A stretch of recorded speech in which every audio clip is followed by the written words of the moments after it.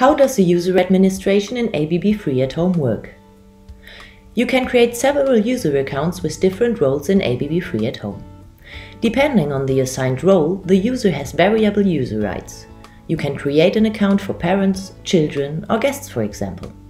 This video will navigate you through the user administration section, explain the different roles and show you how to create, change and delete user accounts. How do I create a new user account? To navigate through user administration, preferably log in in configuration mode. Choose Free at Home configuration and go to User Administration. Now click on Create User at the bottom of the pop-up menu. Type in a username and assign the role of your choice. The password for this new user will be set up during the first login. Make sure to save your configuration at the bottom. Which roles are available and how do they differ?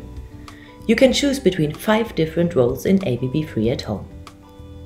A user with an installer role is entitled to configure and manage the entire system including the adjustment of critical device settings, which can lead to renovation work like rewiring or installation of new devices.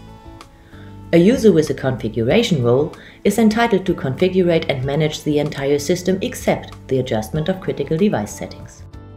A user with a residence role is entitled to control the devices, adjust the timers and administrate users. A user with an operator role is only entitled to control devices. A user with a read-only role is only entitled to check the status of the devices. How do I edit an existing user? Choose the user you want to change in the user administration. You can change the name, reset the password and make changes in the authorization section. Please don't forget to save the changes at the bottom. How do I delete an existing user? Choose the user you want to delete, press delete and confirm the deletion.